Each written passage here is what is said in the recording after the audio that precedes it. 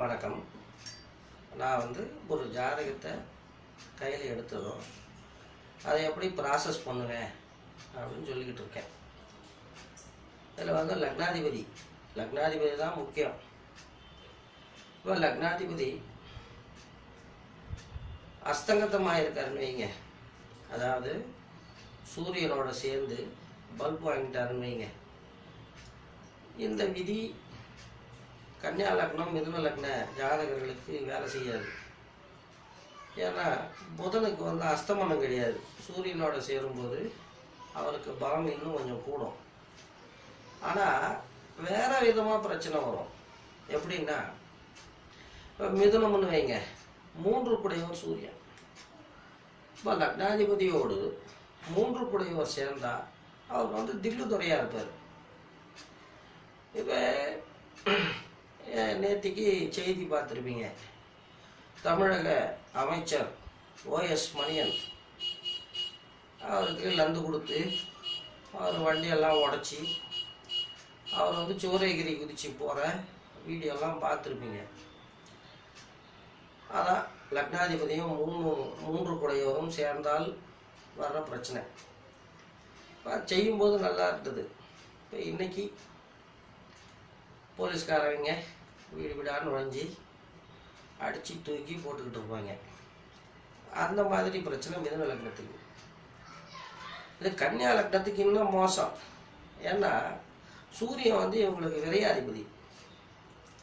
விரையாதிபதியோடு லக்னாதிபதி சேர்ந்தால் பயங்கர பல்பு. அதாவது இவர்களுடைய பெயர் புகழ் உழைப்பு நேரம் காசு பணம் செல்வம் செல்வாக்கு எல்லாமே விரயமாக போயிடும் பிறருக்கு தான் பயன்படும். இவங்களுக்கு பயன்படாது.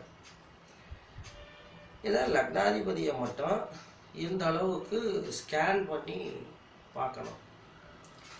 இதில் அப்புறம் மேற்கொண்டு சில விதிகளெல்லாம் அப்ளை பண்ணணும்.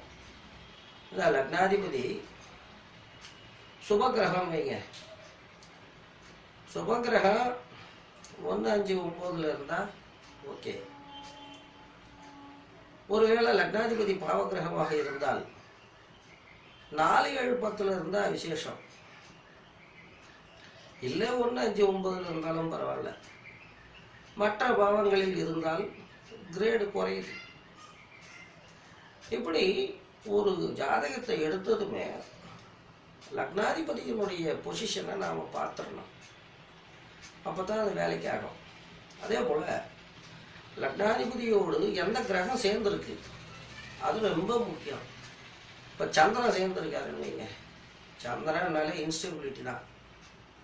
ஜாதகத்தில் எத்தனை யோகங்கள் இருந்தாலும் அந்த லக்னாதிபதியோட சந்திரன் சேர்ந்ததுனால அந்த ஜாதகர் வந்து ஃபிக்கல் மைண்டடாக இருப்பார். படக்குன்னு ராஜினாமா கொடுத்துட்டு வந்துடுறது. டியூட்டிக்கு ஆப்சண்ட் ஆகிடுறது நேற்றுக்கு நல்லபடியாக பேசிக்கிட்டு இருந்த மனுஷனை இன்றைக்கி பார்த்து முகத்தை திருப்பிக்கிறது.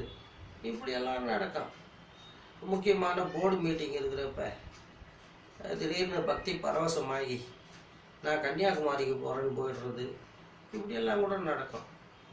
அதனால் லக்னாதிபதி எங்கே இருக்கார் எந்த பாவாதிபதியோடு சேர்ந்தார்?